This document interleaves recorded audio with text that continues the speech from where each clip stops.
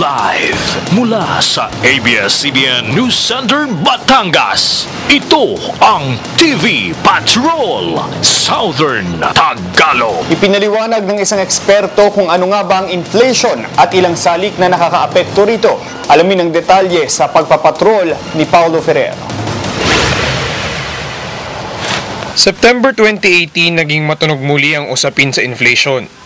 Ito ay matapos maitala ang pinakamataas na inflation rate sa buong bansa sa loob ng 10 taon. Base ito sa datos na inilabas ng Philippine Statistics Authority. Ang ahensya nakatalaga sa pagmumonitor ng inflation rate sa buong bansa.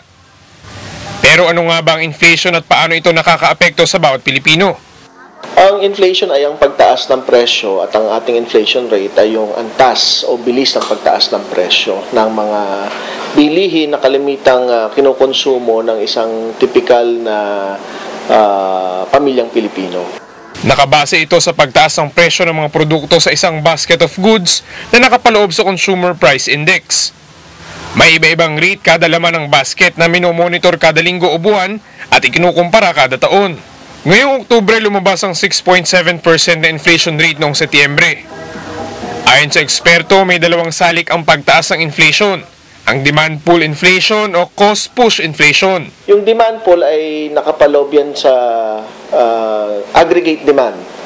Uh, habang lumalaki ang ekonomiya, maraming mas uh, nagkukonsumo, marami ang mas nagde-demand ng goods and services. Kaya nagkakaroon din ng pagtaas ng presyo. Maganda umunong pagtaas ng presyo ito dahil nangangahulugan na lumalago ang ekonomiya. Nakadepende naman sa pagtaas ng presyo sa mga ginagasto sa pag-produce ng mga goods and services ang cost push inflation. Isang halimbawa na rito ang pagtaas sa presyo ng produktong petrolyo, ilang materyales o input sa produksyon.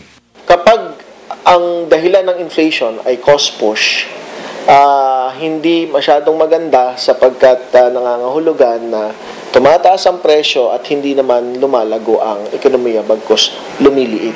Batay umano sa analysis, sa inflation noong nakaraang Agosto at Setyembre, mas malaki ang kontribusyon ng cost push inflation sa pagtaas ng inflation rate. Kaugnay umano ito sa patuloy na pagtaas ng presyo ng langis sa international market.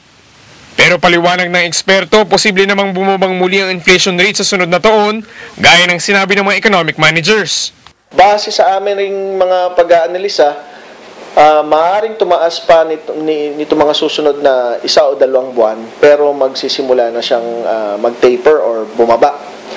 Uh, hindi nga lang natin alam kung gaano katagal bago natin uh, uh, ma-reach yung dating uh, inflation rate na 2 to 4% lamang.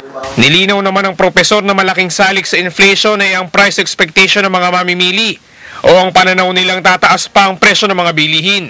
Kapag inanunsyo ang inaasahang pagtaas sa mga produktong pamasko, kadalasang tumataas na rin ang demand sa pamilihan. Ang tendency ng mga tao kasi ay mamimili na ngayon. Kaya ngayon pala, tataas na yung presyo. Nagkakaroon na tayo ng uh, additional demand. Hindi umano dapat mag-panic buying. Dahil seasonal at hindi nawawala ang taas-baba sa presyo ng mga bilihin, maganda umanong maghanap ng alternatibo ang mga mamimili. May panawagan naman ng eksperto sa mga economic managers at iba pang mga ahensya ng gobyerno sana naman eh, maging magkatugma ang ating mga polisiya. So, kailangan maging maingat ang ating mga economic managers din sa pag uh, sa pag uh, announce o sa pag uh, sa pagsasalita dahil tinitingnan din ito ng mga tao kasi uh, naghahanap ng guidance ang ating uh, ang ang ating mga mamamayan at uh, uh, syempre ang unang titingnan nila ay ang gobyerno. Para sa profesor, dapat umunong pag-aralan kung gaanong talagang nakakaapekto ang train sa pagtaas ng inflation rate sa bansa. Paulo Ferrer, ABS-CBN News.